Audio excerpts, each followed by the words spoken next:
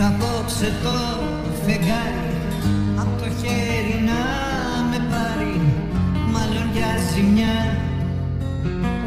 Θέμα χρόνου να λυγίσω Να σε παρακολουθήσω Όμως ξαφνικά η καρδιά